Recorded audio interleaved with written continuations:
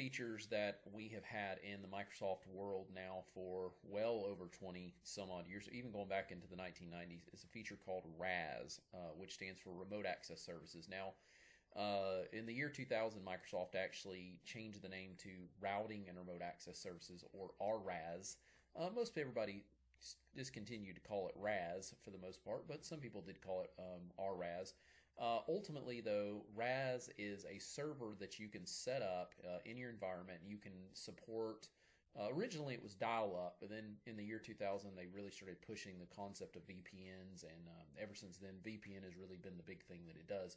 Uh, when Windows 7 came out, they did introduce a concept known as direct access, which uh, was uh, sort of going to replace the idea of a VPN well with another VPN scenario, and then eventually um, they've kind of gotten away from direct access and gone back to just using standard VPNs with uh, a protocol known as IKE, uh, Internet Key Exchange version 2, uh, which has a lot of really cool VPN related features. So um, ultimately, though, with RAS, it's basically a server that you can set up uh, as opposed to getting a VPN concentrator. Now, most people will tell you if you're wanting to connect uh, Azure with your on premise network, you're going to want to get an actual VPN gateway server uh, device uh, and, and put that here.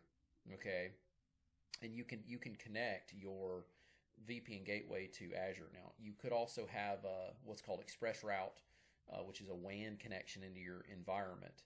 Uh, but all of that to the side, if you don't want to have a, an actual, you don't want to pay for an actual hardware device and you want to use a server to allow telecommuters like um, this guy right here to get into your internal network here, you can do that with RAS. So what you can do is you can set up a server.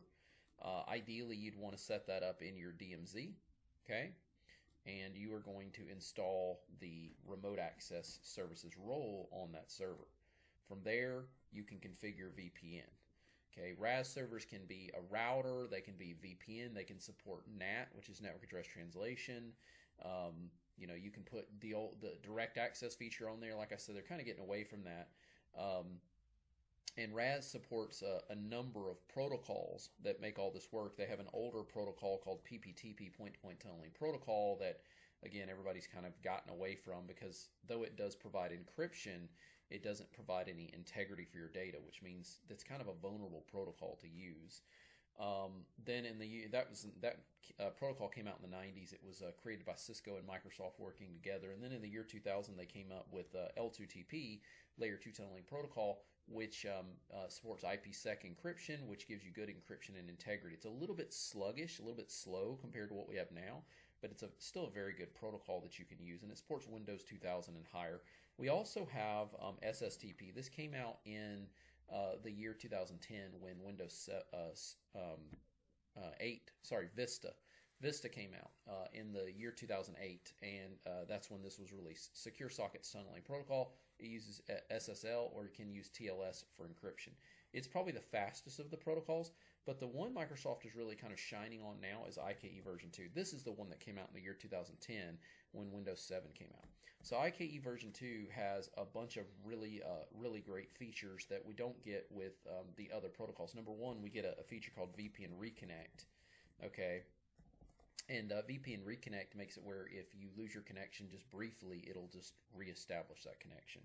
The other thing we got is we got what's called the Always On VPN, which is cool. Um, Always On VPN makes it where a laptop that's using the VPN can always be connected to the VPN and it can detect whether it's on the network or whether it's outside.